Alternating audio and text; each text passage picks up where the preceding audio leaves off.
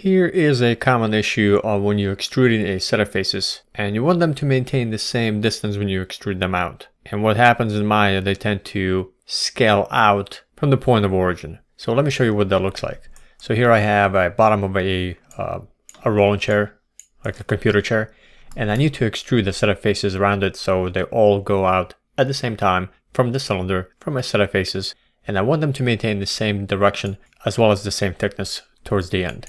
So a common issue is if you select the faces that you want to extrude for each of these. So when you press Ctrl E to extrude and you add thickness, you can see that it just begins to taper out or expand out. And that's not what I want. Now, you, if you do local translate Z, same thing happens. So how do you fix this without having to scale them uh, individually after you're done? So what you can do is you, you can use scale after you've extruded and then bring them in all at the same time by changing the axis orientation. So let me go ahead and I'm going to apply thickness and I'm going to do what I don't want it to do, but I need that thickness right now. I need it to be extruded. So once you've extruded out, the next step would be is to switch over to scale tool R and then double click on the scale tool to open up the options. And you want to change axis orientation from object to component.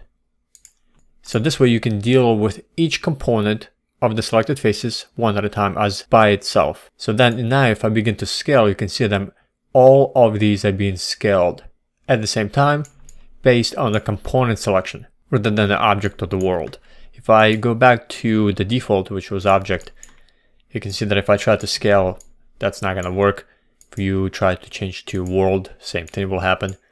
By changing it to component, you're now able to scale a set of faces and you're kind of treating each of these selections by themselves individually. So that's how you treat the problem of scaling your set of faces in Maya when you get the result that you just saw and how to fix it by using scale tool and changing axis orientation to component.